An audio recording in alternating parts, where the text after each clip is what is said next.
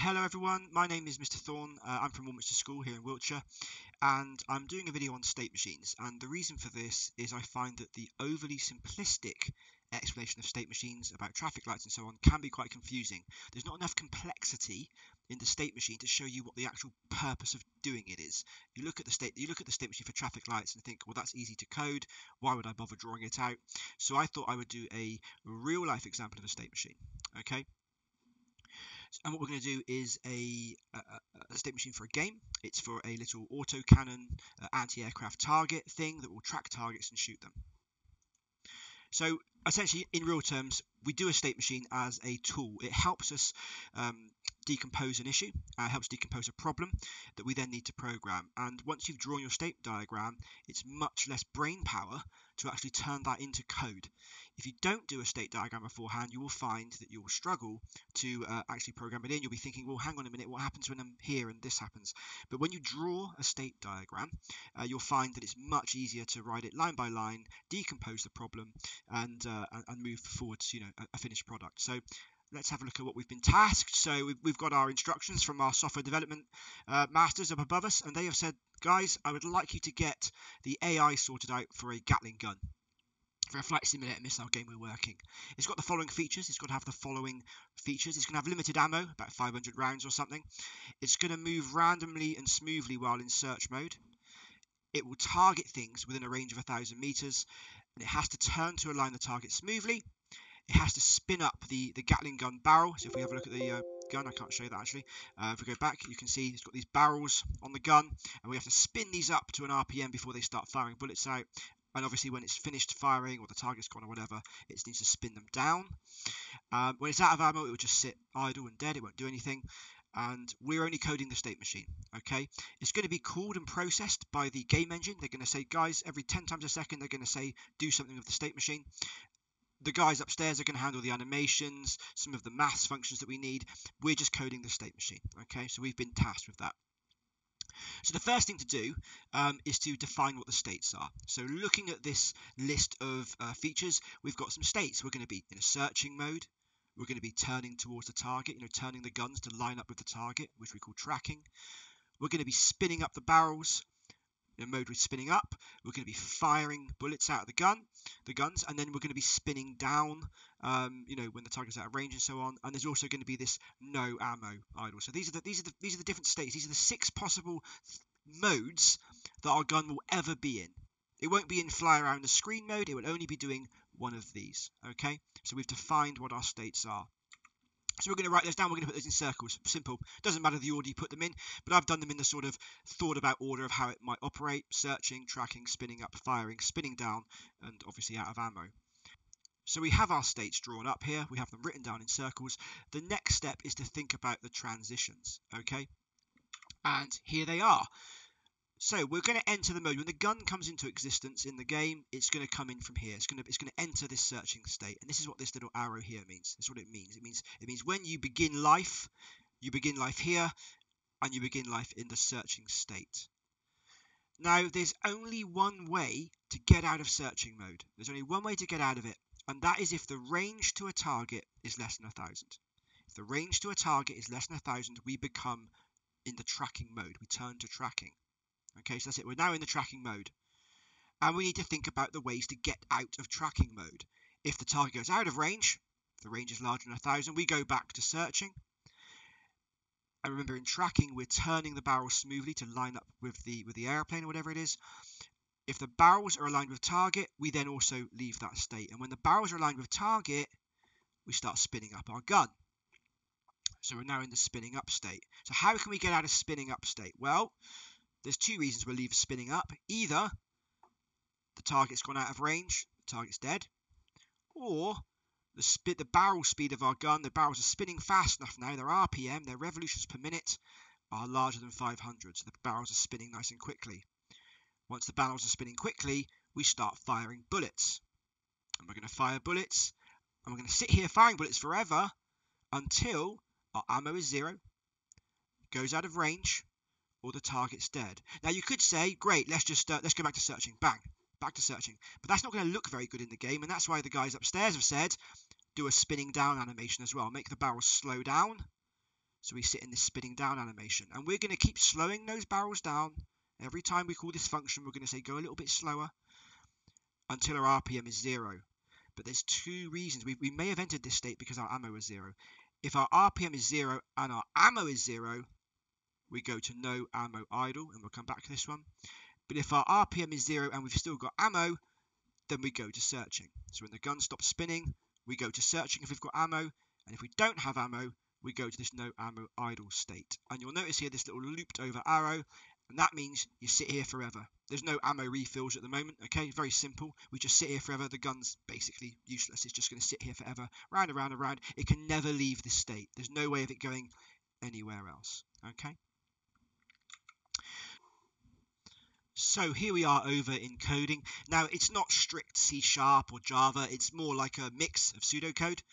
Um, and as you can see, the first thing we need to do is to define our states in, in coding talk. And we've done that with something called an enumerator. Instead of having state being one, two, three, four, or 5, we have said the states are searching, tracking, spinning up, spin down, firing, and the normal idle state.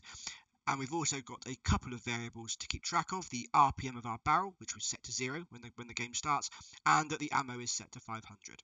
So there's our basic settings, okay? So let's go ahead and code our state machine. So first of all, we need to say what our state starts as, and our turret state, or my turret state, begins life in the searching state, okay?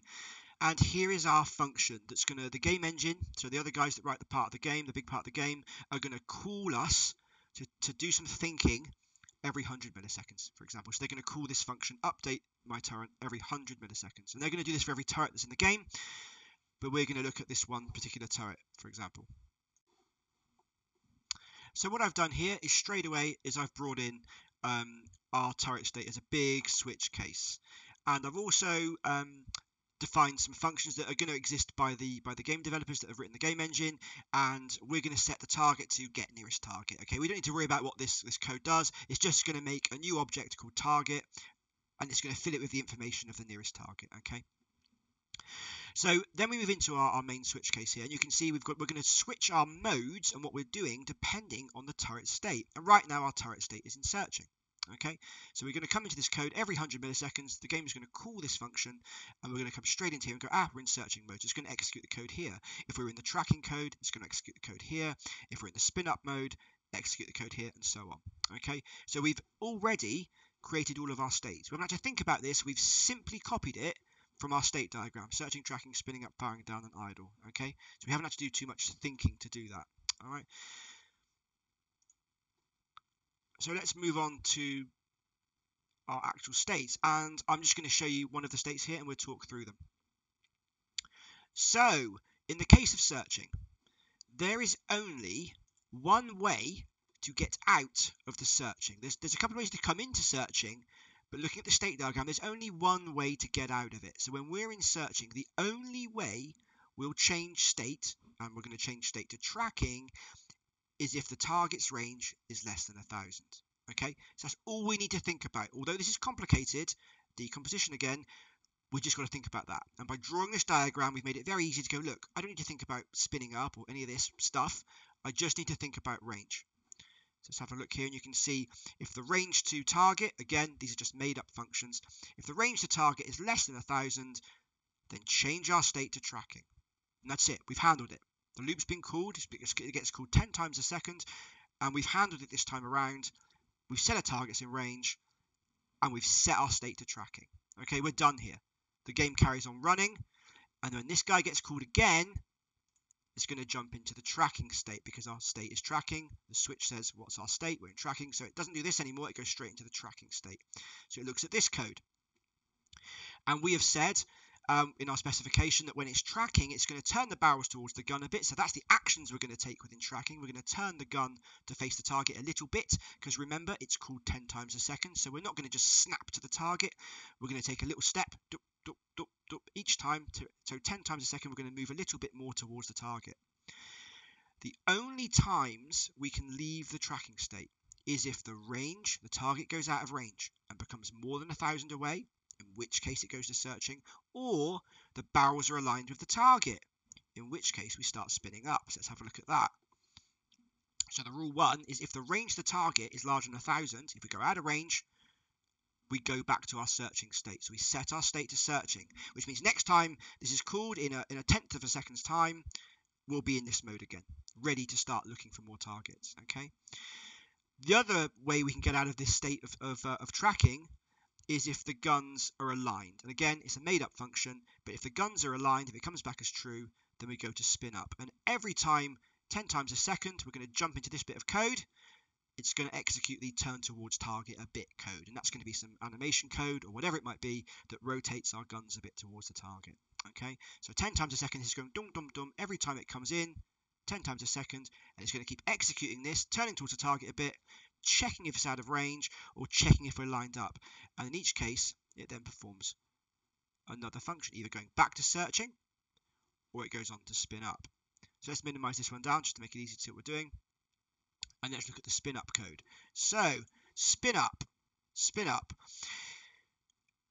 If the range goes out, if it goes out of range, um, or the target, you know, crashes or dies some other way, then we need to spin down because our gun, our barrels have just started spinning. So we can't just go stop and go back to searching because that would look weird. The barrels would still be spinning or, or, or something strange. Um, so we need to actually spin them back down. Okay, we need to slow them back down again before we start searching again. But if the RPM, if the barrel speed goes over 500 RPM, then we actually can start firing some bullets. So these are the two ways we can leave the spinning up mode. Okay, we're never going to go back to tracking from spinning up. We're either going to be slowing down our gun and searching again, or we're going to be firing bullets. Okay, so let's have a look at the code for this. And again, we're not thinking so much. So the functions in spinning up, well, the RPM of our gun needs to go a bit faster each time. Um, and the animators will be checking for the RPM of our gun and spinning our barrels around to make it look good. We're not too worried about that. We're just updating our RPM here and saying go a little bit faster, go 50 RPM quicker. So it's going to take 10 times a second. It's going to take a whole second to get up to speed. It's going to come round and round 10 times a second into this update my turret function. We're in the spin up mode. But if our RPM is now at 500, so the first time through it's 50, then it's at 100, then it's at 150, and so on. And if our RPM becomes larger than 500, we then change our state to firing. So we leave our spinning up state when our RPM is larger than 500. We've, we've done that code. We've written that software. Okay, we haven't had to think about all of this. We've only had to think about this. And the other one we need to think about is if the range is out, if it's out of range or the target's dead. So if the range to target is larger than 1000, and this again it's, it's just pseudocode typing really, or the target is dead, you know, it comes back as true, then the current state is spin down. It doesn't go searching because that would look silly, as I've said. It needs to go to the spin down mode. But let's have a look first of all at the firing state. So we'll minimize these, minimize spin up, we'll minimize searching, so don't need that up anymore. And let's look at the firing state. So, in the case that our state is firing, remember 10 times a second, I do need to reiterate this is called 10 times a second, okay? This is what makes it smooth, is what the state machine is used for. Firing. So, 10 times a second, fire a bullet. Bang, bullet comes out of the gun. Okay, and each time we fire a bullet, take our ammo down by one, obviously. Okay, there's a bug there. Take our ammo down by one. Now then, when we're firing bullets, there's only one way to leave the firing state, and that is our ammo is zero, or our range is larger than a thousand, or our target is dead. And you could have done these as three separate arrows, but I've just put them together like this. So we need to do a check now for all three of these, and if any of these are true, we spin our barrel down. So let's have a look. If the ammo is zero, or the range target is, is out of range, bigger than a thousand, or our target is dead, then we set our state to spin down. Excellent, easy, right? We're not having to think too hard about what we're coding, we're just coding one bit at a time, okay? So let's look at the spin down code. So the, function, the function of spin down is to slow our RPM of our barrels down. We're not going to be firing any bullets or anything.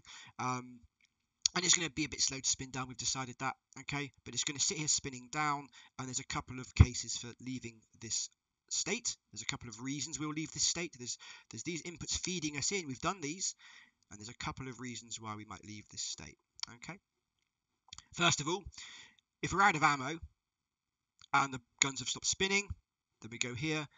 If we if our guns have stopped spinning, so our barrels have stopped rotating, we've still got ammo left, then we go up to searching. So let's have a look at this. So each time we come into this little pass, so 10 times a second we're coming in, we're going to take some RPM off. And again, the animators will be looking at this RPM variable and making the gun spin slower. They're looking at the RPM and going, oh, he's only at 100 RPM now, so spin it slower. We don't worry about that. But what we will do is we'll check. So if the RPM is zero, so our barrels have stopped spinning, and our ammo is zero, then we're going to move to that no ammo idle state. Okay. Otherwise, the guns have stopped spinning, but we've got some ammo. We're going to go back to our searching state. So you can see how we've implemented this here. And we go back to our searching state. Okay. And remember, this just takes us straight back up to here. So then the next time this is called in a tenth of a second's time, it's just going to be checking, is there a target? And if there's no target, nothing happens. It just doesn't do anything. It just waits again till it's called again, constantly checking for targets. However, if it's set to the no ammo, no ammo idle state, which is this recursive state, it just sits here forever. Okay, it's like an end state. It doesn't go anywhere. It get, can't get out of it, which is what this arrow signifies. And we have a look here. Nothing happens. So if this is called and our state is no ammo idle as set by this guy, it comes down here, doesn't do anything, and carries on with the program. So it just sits here forever. Okay. So that is, in essence, a state machine. And I think the takeaway really is for state machines. And as I say, I remember when I was learning about state machines, I thought, well, this is really simple when I'm doing traffic lights or clicky pens. What's the point? Okay. And the point that I use a state machine for in, in real life software engineering is to is to abstract our problem, get our problem down on paper, simplify, decompose the issue into its various steps, and it makes implementation, as I've just demonstrated, a lot simple. I was not worried about the RPM of the barrels in tracking. When I write my code, I know if I'm in the tracking state, my barrels aren't spinning, because the only way they can spin up is if it's put into the spin up state, and it can never be in the tracking state unless it's gone through the searching state, and it can't be in the searching state unless the barrel has spun down. Now, even saying that was complicated, and I had to stop and think, but looking at this diagram, it's a lot easier to see. Okay, so that is the reason we use a state diagram that is the reason um, we would use it when we're designing something complicated. And you know, systems are much more complicated than this. AI systems in games are a lot more complicated. And you could hand this over to the animation guys and say, guys, I need a searching animation. I need one for tracking. I need one for spinning the barrels. I need one for firing. You know, you, you've encapsulated quite a lot of things. For example, in game development, in just one simple diagram. Okay. Okay, so I hope that's been useful. Um, it, it's definitely a way of thinking about things and doing things, as I say, a lot easier. Um, you would be expected uh, in your exam, for, for A, certainly for A level, to be able to draw a state diagram, usually for something a lot simpler. Um, and the important thing is to, is to note we are looking at states and the reasons to move between them, the transition logic, the, the reasons to move between them. Okay, but the gun can only exist in this example in certain states. All right, uh, we have our entry point for our system. We have an end state here, it just sits here forever. And we have our transition lines as well. All right, thank you very much. I'll see you soon. Cheers.